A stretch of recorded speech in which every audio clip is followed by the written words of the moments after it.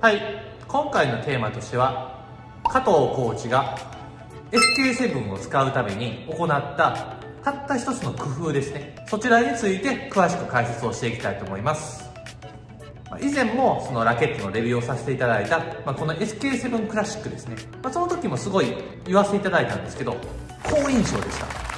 表との相性もすごいいいですし昔から多くの方が使用されている高性能なラケットなんだなとやっぱ私自身も感じましたしこれから使っていこうと思いました、ま、ギャラクシャからの変更ですね。ただやっぱりこう1個だけ気になる部分があってそれを直したかったんですよ。そのために行ったことですね。まずはこの SK7 を使う上でちょっと気になった部分についてお話をしていきたいと思います、ま、何が気になったかっていうとちょっと硬すぎるんですよ。SK7 って7枚合板の中でも、まあ、こうダントツで弾みがあって硬、まあ、いラケットって言われてるんですね、まあ、私もそう思ってでもやっぱり使ってみたいなと思って買ったんですよ。硬いといってもやっぱ木材合板やからいけるやろうと思ったんですけど、まあ、練習とか行っていくうちに、まあ、こうブロックとか止めるときに硬いなと思ったんですよ。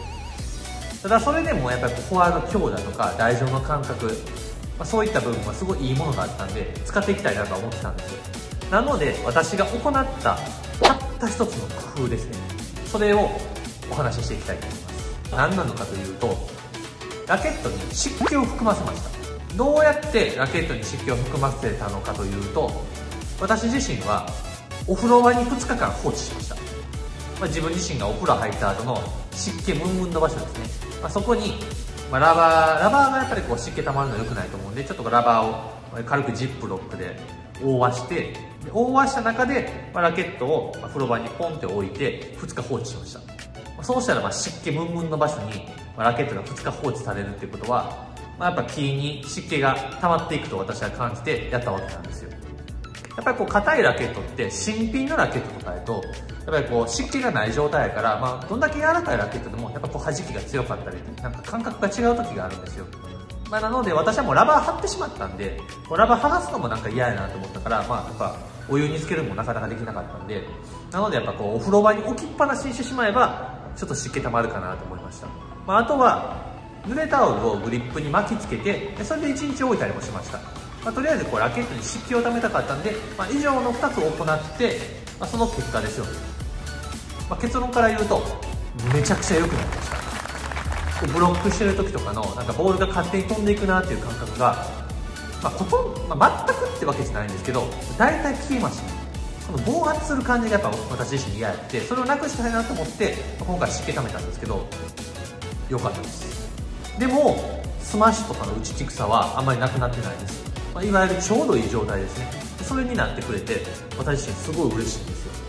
まあ、今回ほんまに実験みたいな感じでこう一回お風呂場に放置とかしてみたんですけどやっぱこういいかなと思いました、まあ、特にこうラバー貼った後になんかあかんなって思って湿気溜めたいなとかこう使ちょっと使った状態にしたいなと思ったらこういう風にお風呂場に置いたりとかなんかこう湿気がいっぱいあるところにこうなんかまあラバーだけこう、まあ、シートでもいいしこうジップロックなんかで覆ってやってもらうのはすごいおすすめです。まあ、正直ラバーさえ貼ってなかったらその濡れタオルをこうラケットの上に覆わして1日2日放置するとか、まあ、そういうことトップ選手の方とかやってるんやったらもうお湯の中にラケットをこうつけてでこう何時間か置いてで乾かして、まあ、何日か乾かしてでそれを使うっていう方もやっぱいらっしゃるんですよ。新品とやっぱちょっと使ったラケットって感覚が全然違うんでそれをやっぱ嫌う人って結構多いと思うんですよ、まあ、逆のパターンもありますよね、まあ、ちょっと使い込んだ感覚が嫌やからラケットをそれこそ半年周期ぐらいで変える人も結構いらっしゃるのでそういった、まあ、同じラケットでもそういった打球感覚とかはこだわってもらった方がいいと思います。私にも初めてこういう経験をしたんですよ、まあ、前使ってたギャラクシャは456人ぐらい使ってたから完全に湿気は溜まってるんですよ。逆に前の新品の状態を忘れてるぐらいあってでそこからやっぱ SK7 に変えたんで、まあ、新品ですよね。これ打球感が全然違うなと思って。ただやっぱ SK7 の性能もすごい好きやったんでその中でちょもうちょっとだけこうマイルドになってくれたら、まあ、いいのになっていう、まあ、贅沢を言うてるようなもんなんですけどそれをまあ叶えてくれたかなと思ったんで、まあ、今使ってるラケットがちょっと硬すぎて困るなとか新品のラケットをちょっとこう使い込んだ状態にしたいなと思うんやったらまそういった工夫ですね。それをやることによって自分の持ってる打球感を作ることができるんで今回私が行ったのはお風呂場濡れタオル。こちらの方になっております、まあ、あとは逆の方も紹介しておきたいと思います、まあ、ラケットに湿気が溜まりすぎてる時ですね。湿気が溜まりすぎてラケットが重くなったりとか打球感が柔らかくなりすぎて嫌やなと思った時に行った方がいい。技としては。ドライヤーと電子レンジです。電子レンジって思うかもしれないんですけど電子レンジで温めることによって湿気って結構飛んでいくんですよ、私の知り合いもそれでラケットがめっちゃ軽くなって良くなったわっていう方も結構いらっしゃるんで、まあ、レンジはいいと思います。ただレンジはやっぱ怖いですよね。燃えるかもしれんし。やったら、まあ、ドライヤーでガーってちょっと時間かかるけどドライヤーでガーって乾かし続けるだけでもやっぱ効果で出てくると思うんで、まあ、湿気を取る技としてはそれはおすすめかなと思います。またラケットに乾燥剤いっぱい入れるのがすごい大事だと思うんですけどもうすぐ効果を求めたい方ですね。すぐ効果を求めたい方は第1は電子レンジ。第2はドライヤーです。ただ電子レンジを使う上では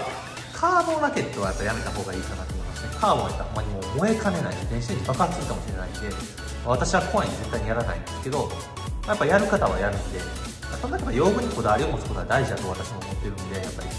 打球感ですね。カタログだけ見てラケットの性能を決めたりとか、人のを打たせてもらっただけで決めるんじゃなくて、そのラケット一本一本としっかり向き合ってその打球感覚を良くするためにいろんな工夫をやってもらうのが大事になってきます、まあ、多分多くの方がそんなこうラケットを提供してもらって何本も何本も試せるような環境にはないと思うんで、私自身もそうですね。私もやっぱりラケットは全部購入しているので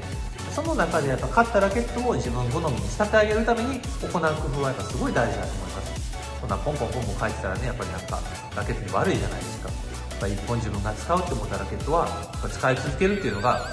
私はすごい大事だと思います。多分用具機構を変えてる方なんかもしれないんですけどでも私自身はこの SK7 を今年1年は絶対に使っていこうと決めております。まあラバーは変えるかもしれないですけどまあラバーももう2年ぐらいはモリス SP なんでまあそういうふうに1回使うって決めたら最低でも1年ぐらいは使いたいですよね。説得力ないかもしれないですけど。そうすることでやっぱ技術もどんどんどんどん良くなってくるし信頼できるんですよね。やっぱ用語をコロコロ変えちゃうとミスの原因はやっぱ用語のせいにしてしまいかねないんでそれって絶対良くない傾向だと思うんで大事なのは自分の技術。自分の技術を信頼するために信頼できる用語を使う。それが大事です。皆さんぜひ一度こういった技をお試しいただければと思います。この動画は私個人の意見であり参考程度にご視聴ください。